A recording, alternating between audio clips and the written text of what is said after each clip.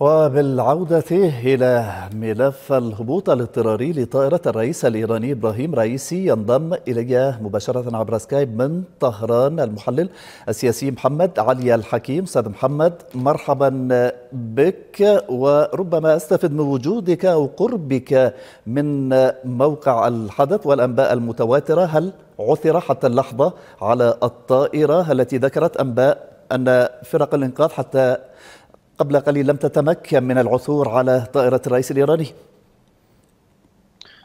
بسم الله الرحمن الرحيم. تحياتي لكم ولمشاهديكم الكرام ولكادر قناتكم الموقرة عزيزي بصحيح العبارة لحد الآن لم يتم العثور على مروحية الرئيس الإيراني التي كانت تقله من آه، في محافظة آه، ما بين قوسين أذربيجان الشرقية. أي بمعنى تبريز لحد الآن لم يتم العثور.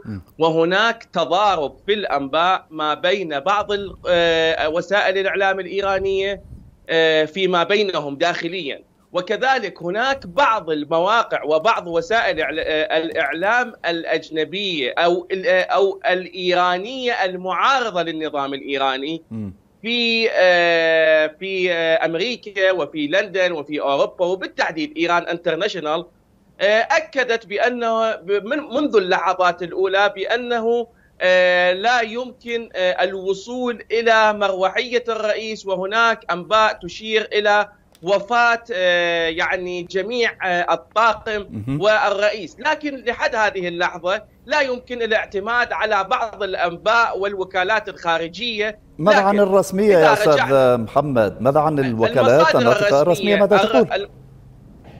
المصادر الرسمية في إيران أستاذ تؤكد بأنه لحد هذه اللحظة لم يتم الوصول إلى مكان مروحية الرئيس والطاقم الذي رافقه خلال رحلته. لكن هناك 22 طاقم لإنقاذ لإنقاذ المروحية وطاقم الرئيس ذهبوا إلى مكان الحادث. لكن لحد هذه اللحظة لم يتمكنوا من يعني العثور على مروحية الرئيس والطاقم الآخر. والأخبار تؤكد بأن هناك أربع شخصيات مهمة كانت من ضمن الطاقم.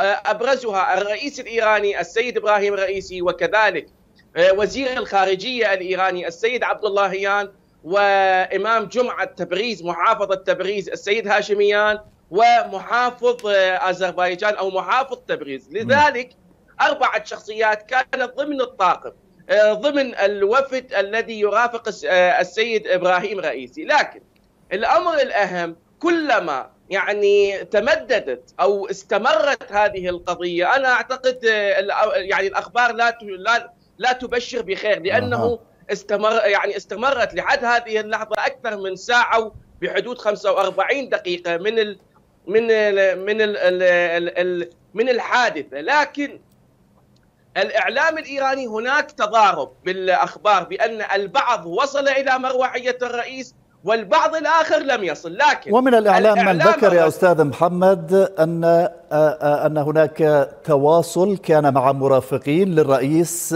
الإيراني ومن ثم انقطع هذا الاتصال. دقة هذه المعلومات الواردة عن تسنيم. حصرا وكالة تسنيم نشرت خبرا بأنه تم التواصل مع أحد مرافقي إمام جمعة تبريز السيد هاشميان. ومن ثم أزالت الخبر. ومن ثم أزالت الخبر. لكن لحد هذه اللحظة لا توجد أي حسب ما أكد وزير الداخلية الإيراني السيد وحيدي خلال لقائه عبر التلفزيون الإيراني بأنه لا لحد هذه اللحظة لا توجد أي آه، ارتباط وأي تواصل مع آه، طاقم الطائرة ومع آه، الفريق المرافق للسيد إبراهيم رئيسي رئيس الجمهورية الإيرانية. هذا الخبر قبل بحدود ستة أو سبعة دقائق. لكن ماذا جرى خلال هذه اللحظات؟